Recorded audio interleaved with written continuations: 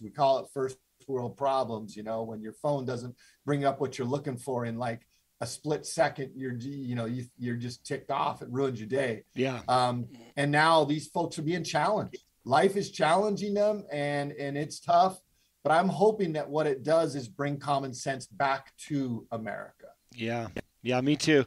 Um, you know, I noticed that you're a very public sheriff, and I appreciate that. It's how I found you but that comes at a cost. and i'm wondering at what point did you decide hey i really need to have my voice out on social media and do more marketing of what i'm saying and what's important to me? You mentioned you were you had a marketing company. Maybe that's where the two came together but um, that's pretty bold to put yourself out there at the level you are. Yeah and i don't mean to, to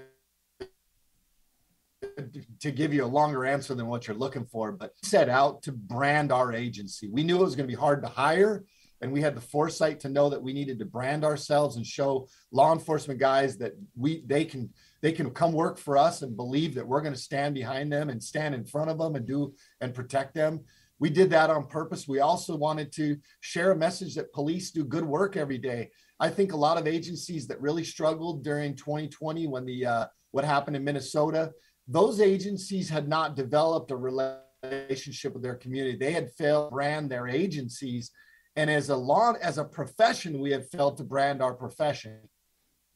And so I have worked our purpose to brand our agency and to brand the leadership here that we we want you to come work for us and we want our people to know that we are going to protect them. Now, as far as it relates to the challenges now and standing in the, the gap now, for me, it's actually become easier mm. because the line in the sand is so distinct.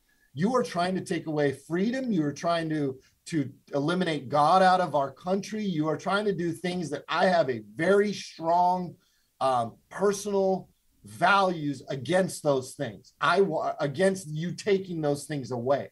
I want to maintain freedom. I want to believe in God the way I want to believe in it. I believe in the family unity. I believe in the rule of law. And so, really, it's been easier for me. The pressure is hard because people hate you for it, but I'm so solid in the fact that I feel so confident and so uh, um, I feel confident in the fact that I'm doing what's right and I'm doing what's best for my people and and I know that people are going to disagree with that and hate me for it. And trust me, they come after you with pitchforks and knives. They are ready. They're hunting for bear if you stand against them.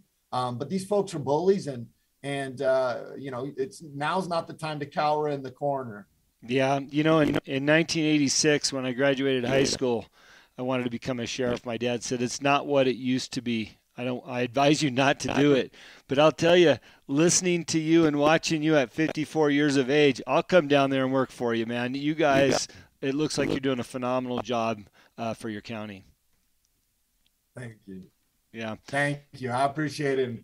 You know, there is no age limit, so you're welcome to come on down. well, they're going to have to kick me out of Montana first. Uh, you know, I saw you uh, yesterday, you posted you had a John McCain moment. Uh, you know, you were in there in a public forum and you called out that gentleman. Um, we need more of that boldness. You know, uh, what's your advice to others as it relates to how you're presenting yourself? You know, those guys get up and they usually beat me up every week. And you know, I one thing is I've learned to just just ignore it.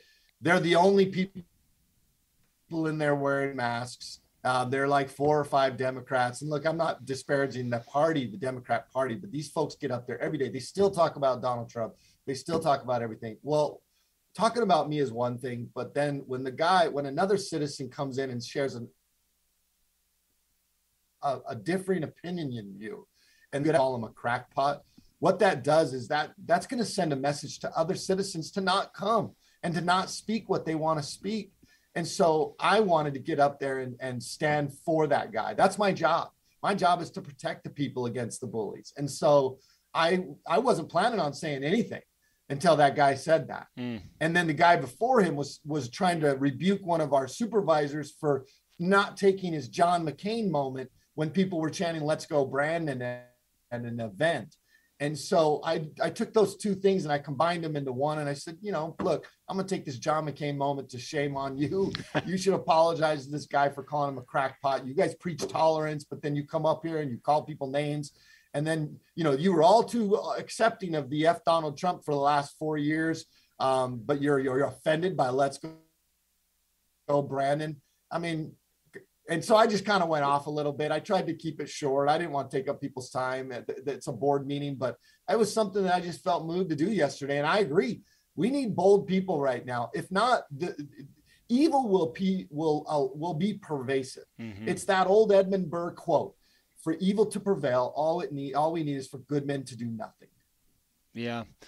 Speaking of which, I just heard an interview with Sheriff Leo Dutton up here. I believe he's the, the chairman of the Western Sheriff's Association. He was talking about uh, fentanyl and the drug crisis and the border.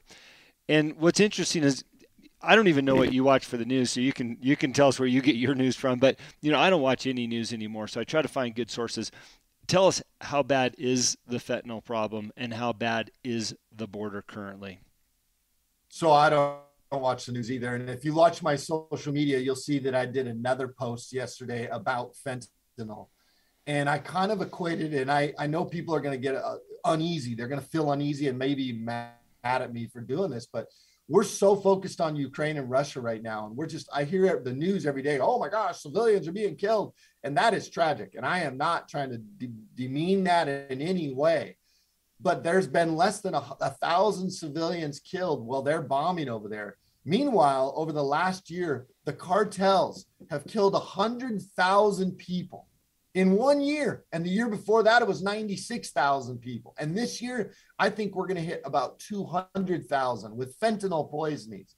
So basically, because they're not bombing us and because it's not a war, these guys don't take it serious, but we're under attack. They are killing Americans it doesn't matter your mechanism of death. You are poisoning and killing Americans every day. And that was my point is like we're so focused on war and because people make money off of that. But here in our own backyard, we have Americans being killed and we know it's coming from and we're allowing it. Well, look, we wait, we did a 20 year war because they flew a couple planes into um, our, the, our twin tower. I think you know, 3,000, almost 4,000 people. Um, and we went to war for 20 years over that. What are we doing for 100,000 plus Americans that are dying every year? That, that number is up. Hey, that's what fentanyl is right now. It is a poisoning. They're, they're the, the heroin, the, the marijuana, all of the drugs also have uh, fentanyl in it. And this will be the scourge on the American people. And here's what it is it's killing civilians. You're focused on those civilians in Ukraine. How, how about you focus on American civilians because they're killing civil women, men, teenagers, children. We just arrested a mom the other day whose baby was killed because of the fentanyl poisoning. Grandparents, nobody is immune. Fentanyl could care less what your economic status is. Matter of fact, if you think I'm wrong, Go and check it out.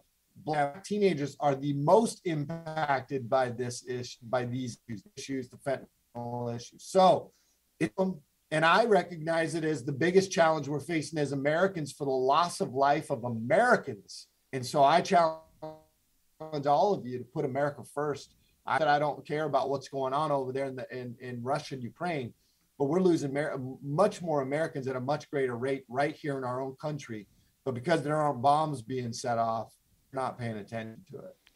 Well, and and the fentanyl being the major crisis in this scenario, but we also have uh, illegals coming across the border in waves. Austin Knudsen, our Attorney General, went down there last month uh, after being pushed off four months by the administration, not being able to go.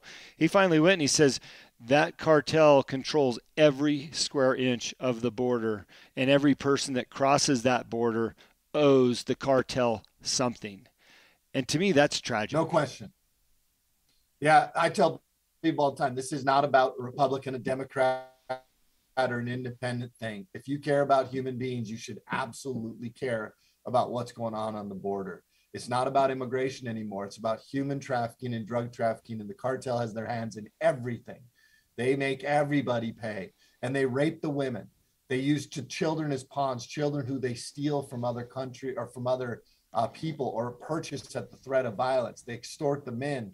I mean, this is what we're dealing with. And because of your politics, it aligns with your uh, ideologies, you're willing to turn a blind to it. Unacceptable. Eight to 10 women, they say, are raped.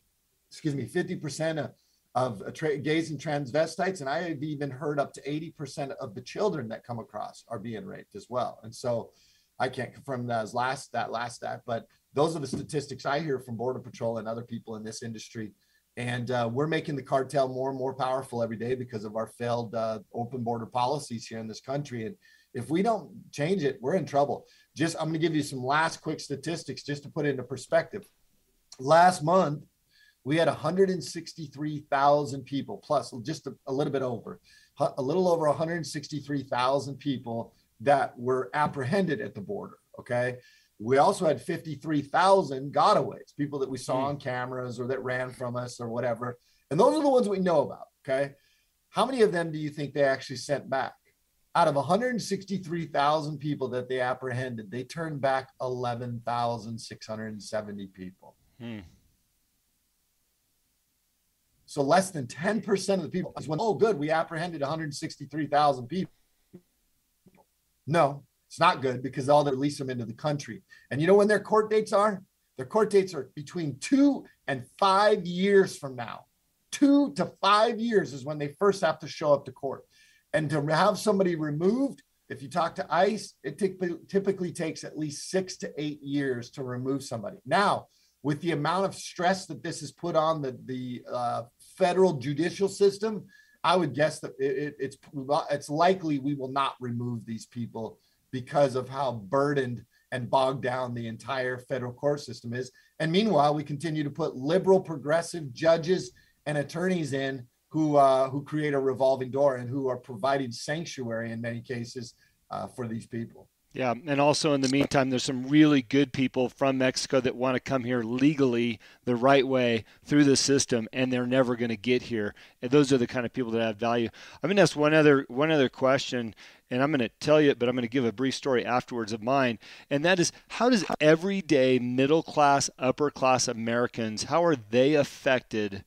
By the border crisis and the fentanyl crisis. Because, you know, we take our kids to school, we come home, we work from the house, we're on Zoom calls. Life is good. We don't see it in our own everyday. But I know it happens. My wife, and this is my story while you think about your answer, my wife was at Target with my two girls, four and six at the time, in Upland, California, a nice little sh- sleepy, shady town before we moved to Montana. She was followed around that store for 45 minutes by a Hispanic couple and finally she realized that they were after her or after our kids she thought. When she actually reviewed the tapes with the security and the local police department they said ma'am they could have taken your kids a dozen times. They were after you. Chances are they wanted to get you and turn you over to the cartel. And both of our hearts just sank like wow we had no idea right? That's a that's a real life story for us. I'm sure there's plenty like that. Yeah. Unfortunately most americans think that this is a an Arizona or a Texas problem or even a California problem. And the fact of the matter is, it is not. We are trying to stop this from coming into your communities. What happens in our backyard today, I promise you, will be in your front yard tomorrow. I was watching a video the other day, and they probably had 20 guys walk by as they were filming them, you know, on a camera, and they were asking them, "Where are you going?" Um, one said California, two said Florida, Every other person, not a single person said Arizona, and not a single person said Texas. We were all planning to go to places like Montana, Colorado, Iowa, Illinois, Massachusetts. They were all planning to go inland. The cartel's product is not designed to stay in Arizona or Texas. Is where they get the least amount of money for their product. This product is designed for your communities. And if you don't think you have cartel in there, you're kidding yourself. If they sell drugs in your community, which I promise you they do, there is a cartel connection in your community. These guys don't just give you the, these street gangbangers uh, product to sell for them and then just say, hey, on good faith, send me the check when you're done. No, they have connections in all of these communities to ensure that their product is delivered, sold, and that they recover the money back after their product has been sold. Um, 90% of all drugs that are in America have come through the southern borders of this country and it is not designed to stay in Arizona or Texas. So all I can tell you is if you think that this is our problem, you are sorely mistaken. We are fighting your problem. We are trying to keep them, these, these humans and these people out of your communities.